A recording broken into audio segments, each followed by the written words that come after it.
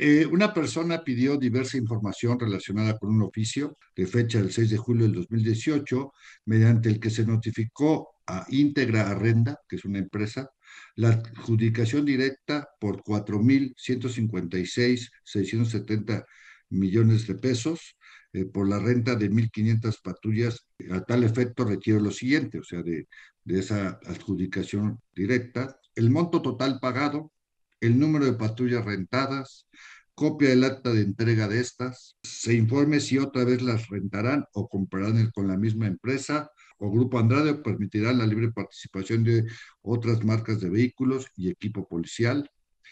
Se informa el destino de todos los patrulleros que tienen sus unidades y y que nuevas unidades se les asignaron. Copia de los contratos por renta o compra de patrullas, carros, camionetas, ambulancias y motos de 2018 a la fecha.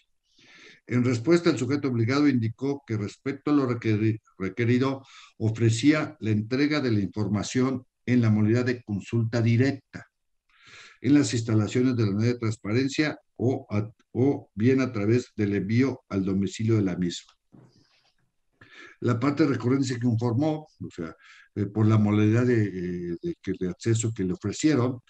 por el sujeto obligado señalando que, que se le debía entregar por la PNT y, él, y ellos pretenden que vaya a sus oficinas para ver la respuesta. Consideramos, digamos, que evidentemente siendo además una obligación de transparencia, pues el sujeto obligado debe entregar esta información en formato electrónico, dado que así la ley lo solicita.